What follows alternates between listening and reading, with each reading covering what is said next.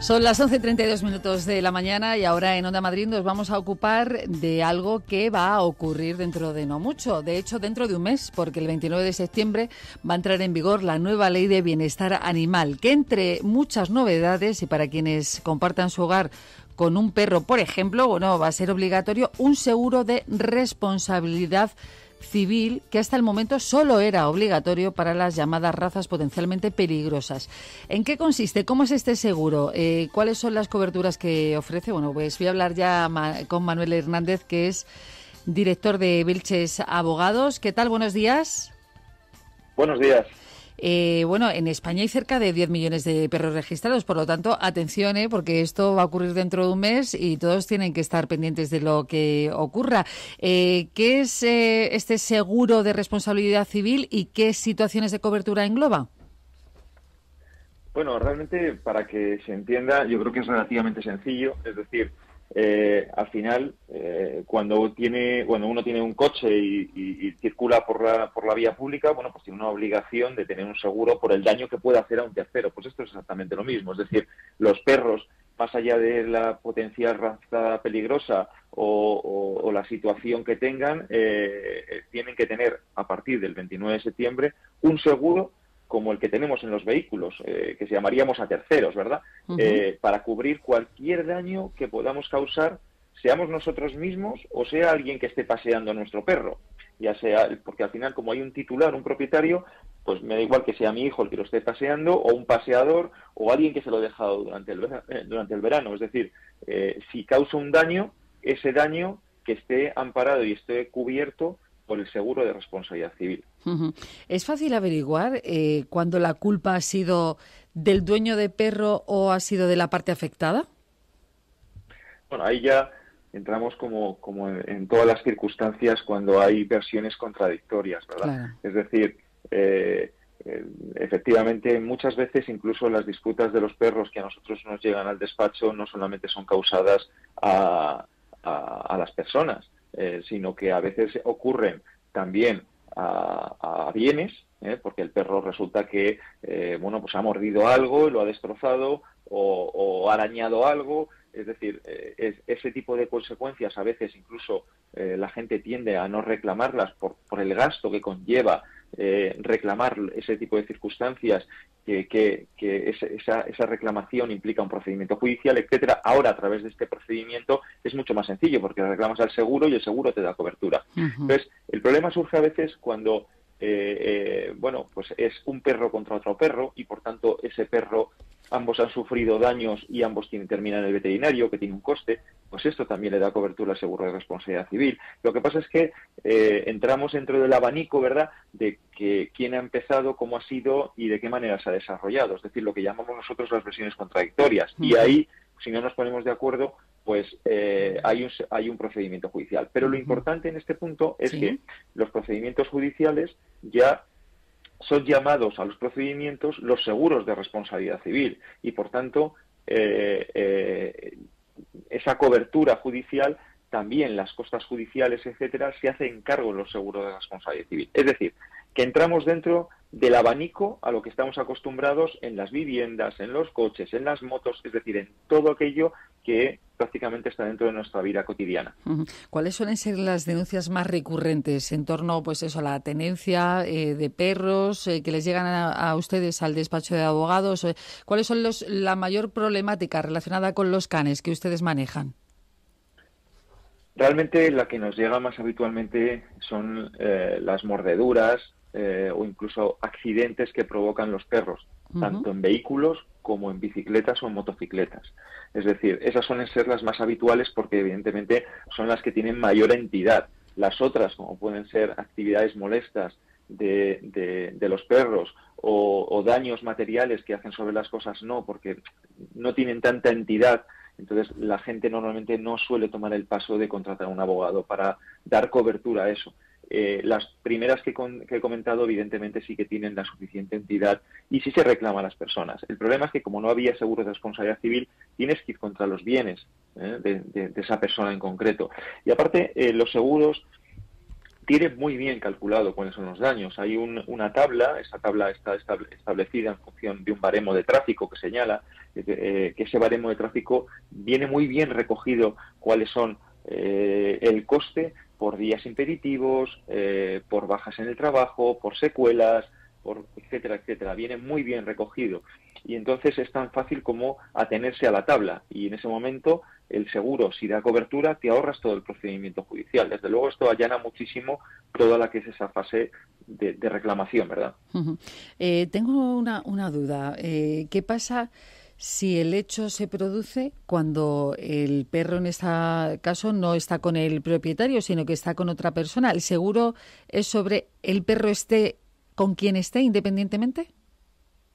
Efectivamente, es con quien esté o si está solo. Imaginemos el supuesto de que nuestro coche eh, lo hemos dejado aparcado sin el, eh, sin el freno de mano. Y de repente se va para abajo a la calle y se choca con otro coche y le hace un daño.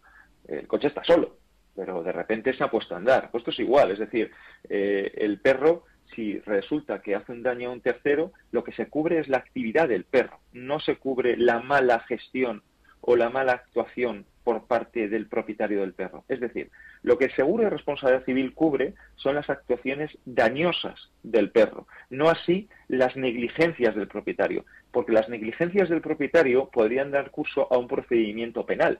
Si, por ejemplo, ha habido lesiones o ha habido fallecimientos, como han ocurrido. ¿eh? Y en ese caso se abre un procedimiento penal porque ha habido una negligencia por parte del propietario que ha producido unas lesiones, ha provocado un fallecimiento y eso da cobertura a delitos distintos. Y eso ahí el seguro de responsabilidad civil no entra en la parte penal, entra en la parte de dar cobertura eh, respecto de la responsabilidad civil económica. ¿Puede una compañía de seguros negarse a asegurar a un perro por algún motivo? Podría, podría ser perfectamente porque un, em, porque un perro tenga, por ejemplo, alta siniestralidad, es decir, un perro que ya ha causado determinados daños con anterioridad, el seguro perfectamente puede negarse o elevar el coste del seguro a límites que no le interese al propietario. O eh, que el perro tenga una determinación que por su eh, peligrosidad no es que se niegue, pero evidentemente la cobertura o el coste de la, de la prima del seguro pues sea muy alta eh, y casi es una actuación eh, tácita de, que no quieren que contraten ese tipo de perros que a la postre puede generar bastante conflicto. Decimos que el 29 de septiembre entra en vigor, o sea, en un mes, esa nueva ley del bienestar animal, eh, entre otras cosas y entre las novedades, como decíamos, es eh, seguro, es obligatorio eh, ese seguro de responsabilidad civil. Por tanto, las personas que ahora tengan mascota, tengan perro y, sepan que esto va a ser así dentro de un mes, tienen obligatoriedad, ¿no? O sea, tienen que tener sí o sí un seguro para sus perros de responsabilidad civil. Sí, efectivamente es así. Es obligatorio y tienen que atenerse a ello y tendrán que ir a un seguro que, les cubra pues, pues eh, efectivamente todo esto. Eh, ¿Hay seguros especializados, eh, don Manuel? En principio no hay compañías de seguros especializados, al menos que yo conozca, que den cobertura exclusiva a las cuestiones de los animales. Puede ser que los haya, pero desde luego yo no los desconozco.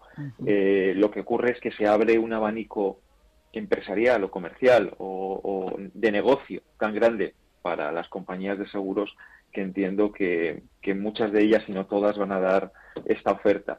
Sí es verdad que muchas veces eh, lo que les animo a todos los que nos estén escuchando es que miren su cobertura mm. de, eh, de los seguros de hogar porque a veces los seguros de hogar sí que incluyen la cobertura de daños de mascotas. Es decir, que las mascotas que nosotros tenemos en nuestro domicilio eh, y los daños que provoquen están dentro de la cobertura del seguro. Y eso les daría cobertura a esta obligatoriedad. Y por ahí, personalmente, creo que es donde va a venir el negocio por parte de las compañías de seguros. Es decir, si usted tiene un, un, perro, y usted tiene un seguro de hogar con nosotros, le, se lo incluimos y por tanto no tiene que hacer una cobertura nueva en otro en otra compañía de seguros. Claro, o ampliar la cobertura ¿no? en el, seguro que uno tenga de, hogar. Eh, Manuel Hernández, director de Vilches Abogados, gracias por estar con nosotros y desde luego ha sido muy, muy interesante y entiendo que para esas personas que no lo sabían, que se están enterando que han vuelto de vacaciones y de pronto han dicho, anda, pero es que tengo que mirar esto, ¿no? Que el hecho de no tener el seguro eh, puede estar incluso sancionado, ¿no? Efectivamente, efectivamente. Hay una serie de, sanciones en función eh, del tipo de perro, de la gravedad, etcétera, que son punitivas por el hecho de no tenerlos. Yo le recomiendo a todo el mundo que nos esté escuchando que den cobertura a una actuación que desde luego les va a hacer dormir más tranquilos. Y además da igual el tipo de perro que tengas, tengas uno pequeño, tengas uno grande, da igual. El pequeño igual se puede cruzar con una bici, tirar al ciclista eh, y hacerle una avería importante y tenemos un grave problema.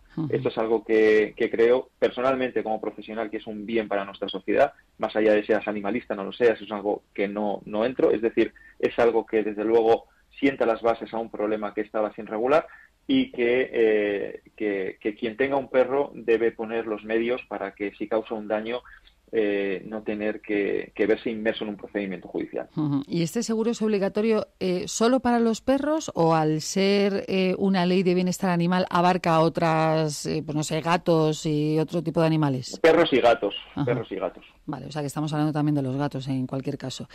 Eh... o sea, estamos hablando de, miles, de miles y miles, no decir, no sé, millones, pero vamos, eh, un número muy elevado de seguros que se van a tener que, amoldar a estas circunstancias. Claro, pues que la gente no lo deje para el último momento y así se ahorrará disgustos en caso de que tengan algún problema con su mascota. Manuel Hernández, director de Vilches Abogado, muchísimas gracias.